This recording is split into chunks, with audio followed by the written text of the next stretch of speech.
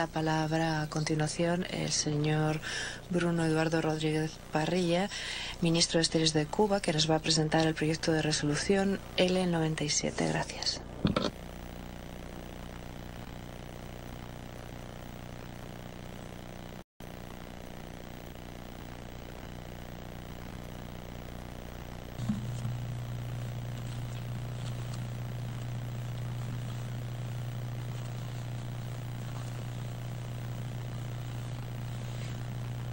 Excelentísimo señor presidente, excelentísimos señores representantes permanentes, señores delegados.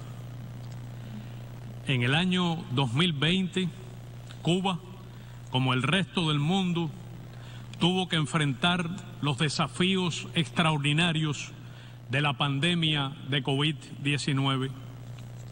El gobierno de los Estados Unidos asumió el virus como aliado en su despiadada guerra no convencional. Recrudeció de manera deliberada y oportunista el bloqueo económico, comercial y financiero y provocó al país pérdidas por alrededor de 5 mil millones de dólares.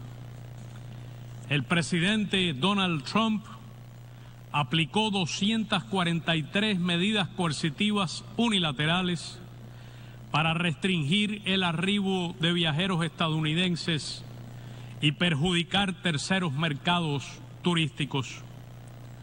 Adoptó medidas propias de tiempo de guerra para privarnos de suministros de combustible persiguió los servicios de salud que prestamos en numerosos países, incrementó el acoso a las transacciones comerciales y financieras en otros mercados y se propuso amedrentar con la aplicación del título 3 de la ley Helms-Burton a inversionistas y entidades comerciales extranjeras.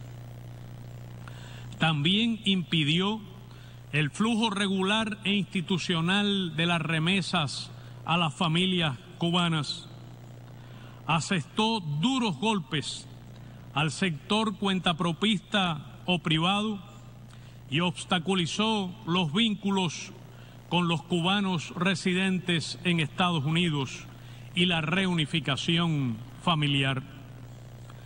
Todas estas medidas se mantienen hoy vigentes y en completa aplicación práctica y paradójicamente van conformando la conducta del actual gobierno estadounidense justamente en los meses en que Cuba ha experimentado el mayor incremento de infectados, el número más alto de fallecidos y un efecto económico superior de la COVID-19. La plataforma de campaña del Partido Demócrata prometía a los electores revertir rápidamente las acciones tomadas por el gobierno de Donald Trump, en particular la eliminación de las restricciones a los viajes a Cuba, las remesas, y el cumplimiento de los acuerdos migratorios bilaterales, incluyendo los visados. Está demostrado que una amplia mayoría de los estadounidenses apoya el levantamiento del bloqueo y su libertad de viajar a la isla, y que los cubanos que viven en este país desean relaciones normales y bienestar para sus familias. Algunos culpan de esta perniciosa inercia a las ambiciones electorales asociadas a la Florida o a los equilibrios nada transparentes de las élites políticas y legislativas en Washington. ¿Qué pensarán de lo que ocurre quienes votaron por el presidente Joseph Biden? Señor presidente, el daño humano del bloqueo es incalculable. La vida de ninguna familia cubana escapa de los efectos de esta inhumana política. Nadie podría afirmar honestamente que no tiene un impacto real en la población. En el ámbito de la salud persiste la imposibilidad de acceder a equipos, tecnologías, dispositivos, tratamientos y fármacos idóneos que se nos impide adquirir de compañías estadounidenses y han de conseguirse a precios exorbitantes con intermediarios o sustituirse con genéricos de menor eficacia, incluso para los recién nacidos y niños enfermos. Pero ahora, el golpe artero a nuestras finanzas y los gastos asociados a la COVID-19 en el orden de los 2 mil millones de pesos y los 300 millones de dólares provocan además la falta o inestabilidad de medicamentos de uso hospitalario que representan la diferencia entre la vida y la muerte y dificultades cotidianas a las personas para adquirir a tiempo la insulina, los antibióticos, los calmantes, los usados para tratar la presión arterial, las alergias y otras enfermedades crónicas. Cuba buscó proteger a todos del virus, activó su universal y sólido sistema de salud y contó con la abnegación, la disposición al sacrificio y la alta calificación de su personal movilizó al potencial científico nacional y a su industria biofarmacéutica de nivel mundial y dispuso del apoyo y el consenso manifiestos del pueblo y en especial de los jóvenes y estudiantes que concurrieron como voluntarios a las zonas de riesgo y a las pesquisas epidemiológicas.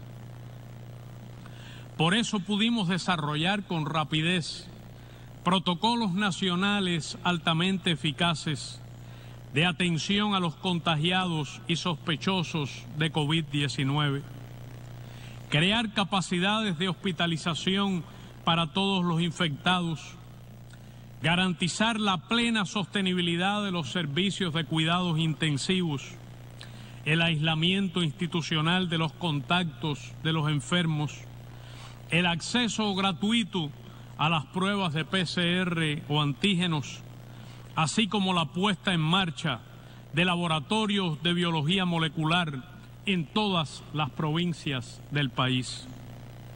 Cuando el bloqueo cruelmente impidió el suministro de ventiladores pulmonares, Cuba desarrolló su producción nacional con prototipos propios.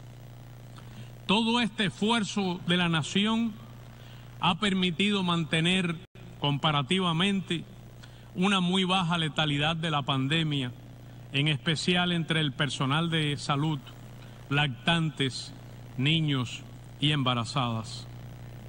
Es notable que una pequeña isla bloqueada haya producido cinco candidatos vacunales y aplicado tres de estos en estudios de intervención o intervenciones sanitarias a 2.244.350 cubanos con al menos una dosis y se proponga vacunar al 70% de su población durante este verano y al total de la misma antes de concluir el año a pesar de que el bloqueo está obstaculizando de forma severa el escalado industrial de dichas producciones. Es un resultado ilustrativo del esfuerzo de la ciencia al servicio del pueblo y de la eficacia de la función pública.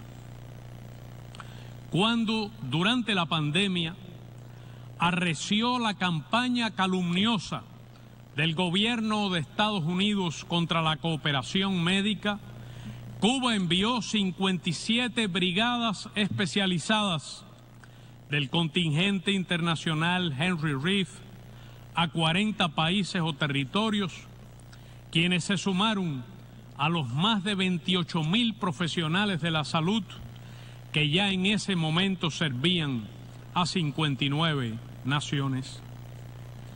El bloqueo también priva a la industria nacional del financiamiento para importar los insumos necesarios destinados a la producción de alimentos que provocó la caída de la producción porcina y de otros bienes.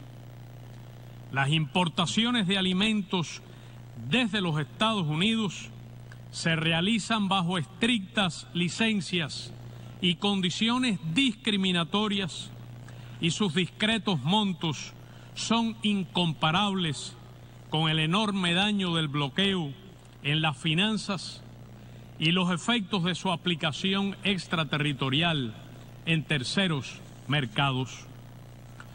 Doy testimonio del sufrimiento y la ansiedad que provocan en las familias cubanas el desabastecimiento y la inestabilidad de productos imprescindibles y de primera necesidad, visibles en largas colas que a diario agoban, agobian a los cubanos en medio de la pandemia. En el desabastecimiento de las tiendas y el aumento desmedido de los precios, pese a esfuerzos ingentes del gobierno, impactan decisivamente también las medidas de endurecimiento del bloqueo en condiciones de pandemia y de crisis económica global. Como expresó el general de ejército Raúl Castro el pasado 16 de abril, y cito, el daño que estas medidas causan al nivel de vida de la población no es fortuito ni fruto de efectos colaterales, es consecuencia de un propósito deliberado de castigar en su conjunto al pueblo cubano. Fin de la cita.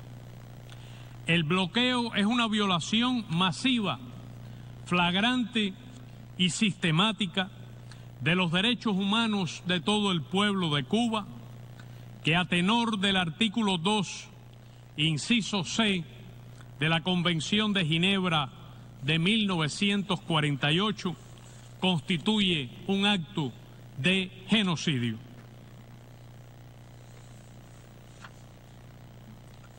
Señor presidente, las autoridades de los Estados Unidos han tratado cínicamente de sembrar la idea del fracaso del sistema y de la ineficiencia del gobierno cubano, de que las medidas coercitivas no afectan al pueblo ni son realmente un factor significativo en las dificultades de la economía nacional. Pero veamos los datos.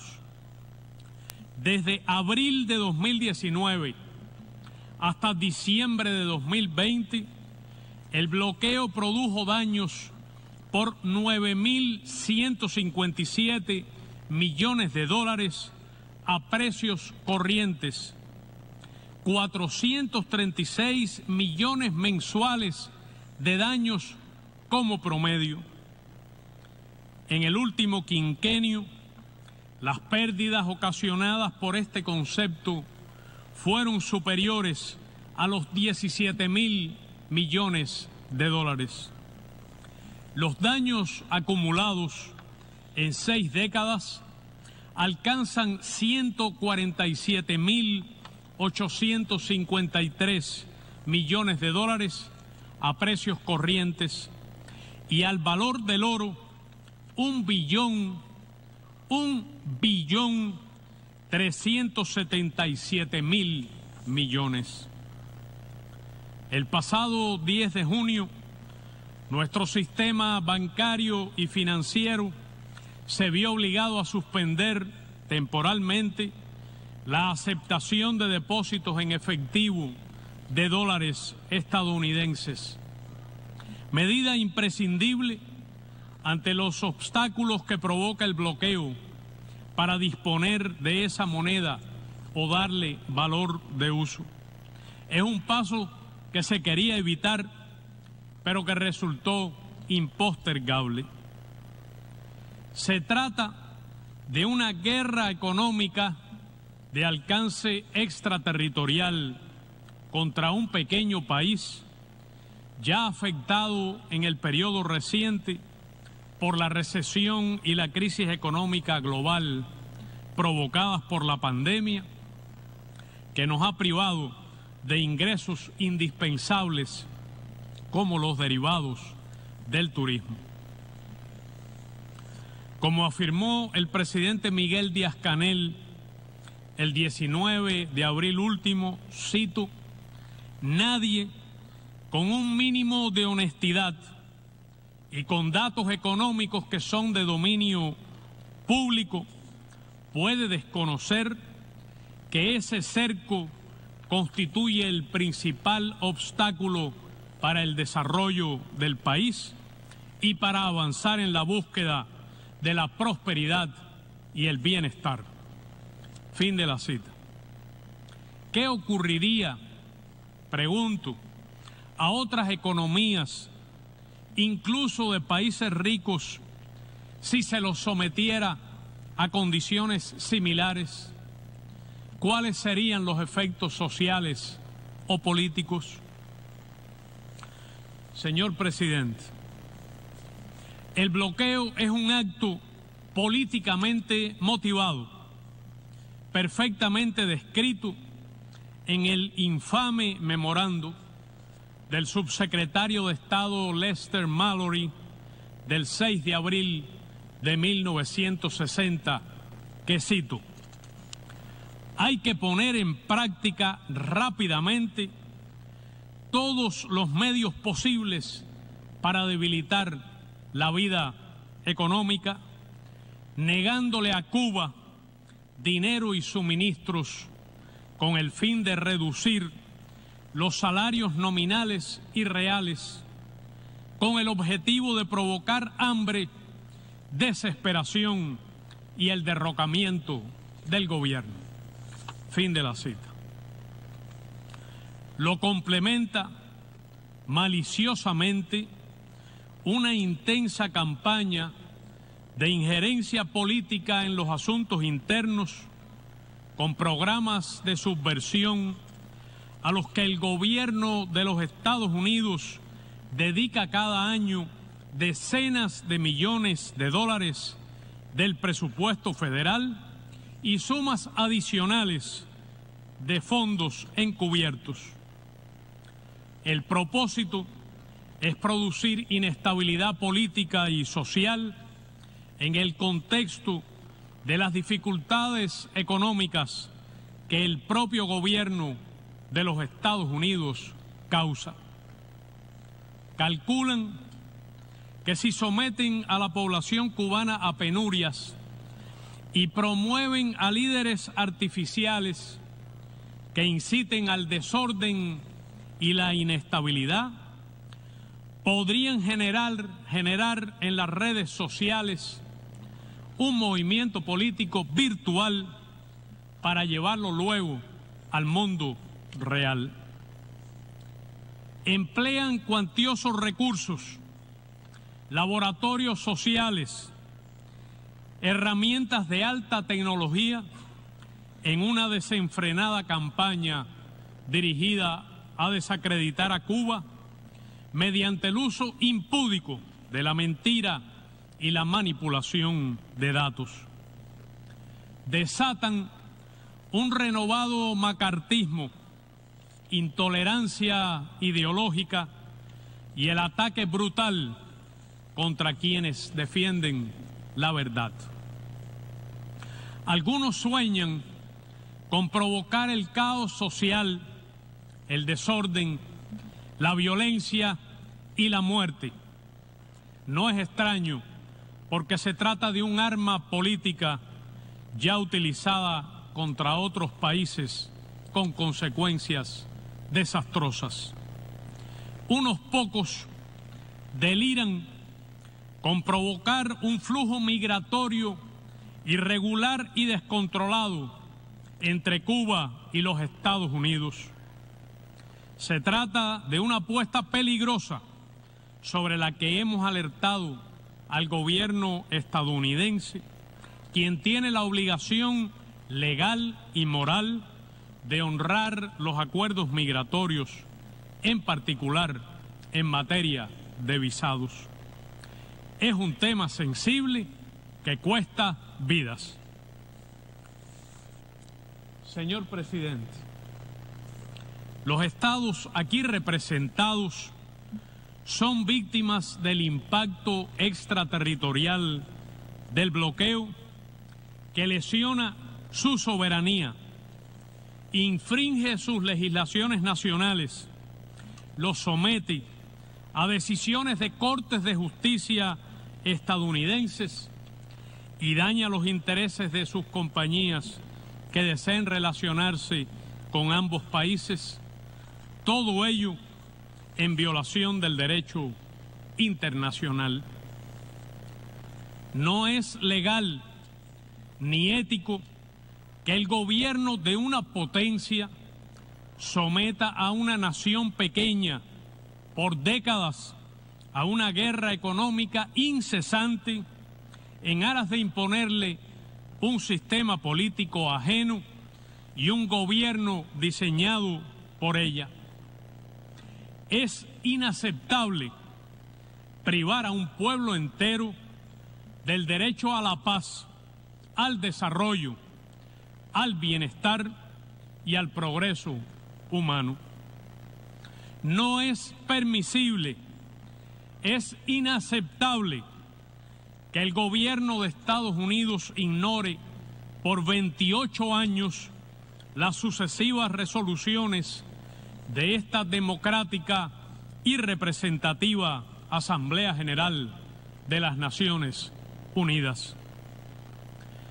En septiembre del año 2000, el comandante en jefe Fidel Castro señaló en este podio, hay que acabar de plantear con toda firmeza que el principio de la soberanía no puede ser sacrificado en aras de un orden explotador e injusto en el que, apoyada en el poder y su fuerza, una superpotencia hegemónica pretenda decidirlo todo. Fin de la cita. El reclamo de Cuba es que nos dejen en paz, es vivir sin bloqueo, que cese la persecución de nuestros lazos comerciales y financieros con el resto del mundo. Demandamos que se ponga fin a la manipulación, la discriminación y cesen los obstáculos a los vínculos de los cubanos que viven en los Estados Unidos con sus familiares en Cuba y con el país que los vio nacer.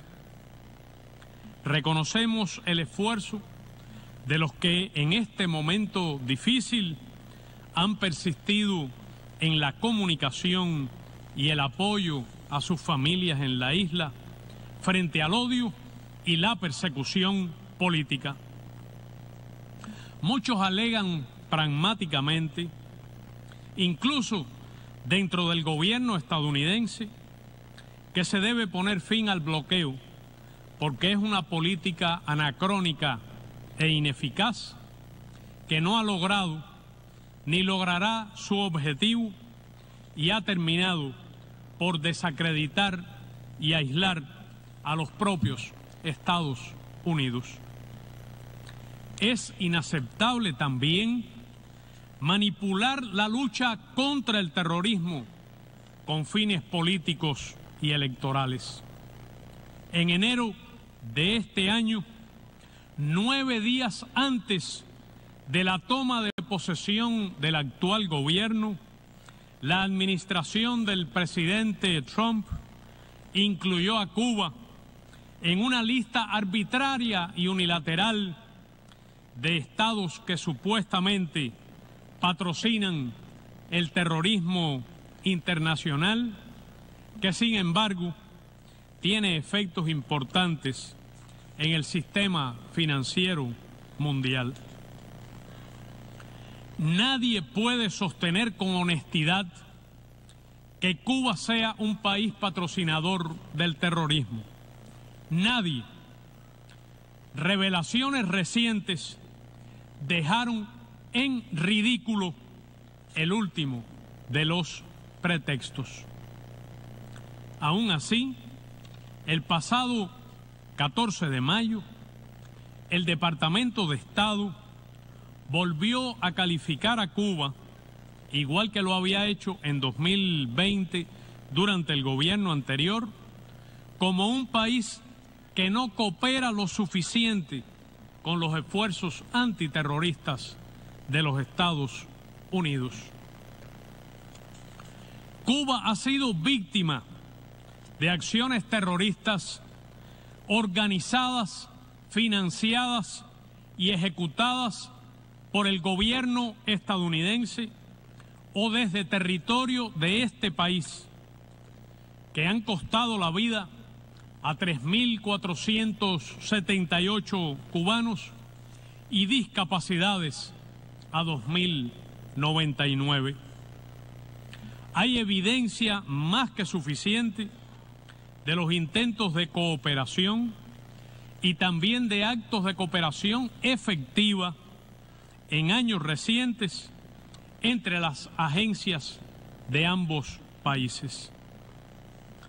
Nuestra posición sobre el terrorismo es sabido, es de condena absoluta a esa práctica, cualquiera que sea su forma y sus manifestaciones.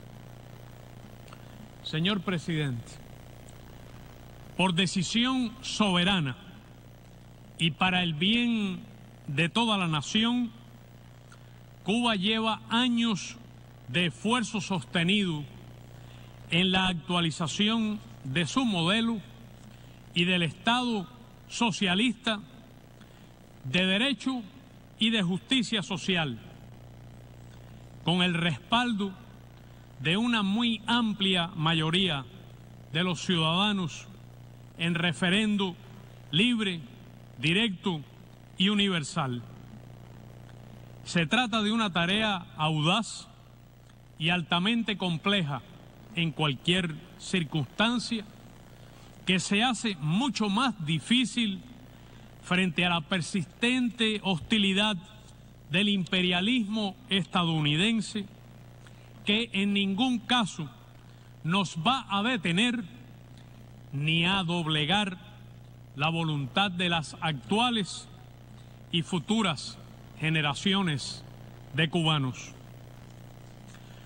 Agradezco profundamente las ayudas solidarias de nuestros compatriotas y de los amigos de Cuba en diversas latitudes que tanto apreciamos, incluidas las que con mucho esfuerzo ante la oposición de su gobierno han podido llegar desde este país. Nos alienta contar con el respaldo de miles de personas que en todo el mundo se han congregado en estos días para reclamar al gobierno estadounidense que ponga fin al bloqueo. Entre sus protagonistas están numerosos cubanos que enaltecen la bandera de la estrella solitaria, incluso aquí. En nombre de mi país, de su digno y generoso pueblo que resiste y avanza de manera heroica, someto a su consideración el proyecto de resolución A barra 75 barra L97, necesidad de poner fin al bloqueo económico, comercial y financiero impuesto por los Estados Unidos de América contra Cuba. Como el virus, el bloqueo asfixia y mata y debe cesar. Patria o muerte, venceremos.